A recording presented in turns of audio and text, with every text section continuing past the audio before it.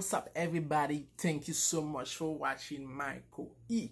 So for those who is not subscribed yet subscribe right now. Go ahead okay? So thank you so much for those subscribers and i appreciate it. I very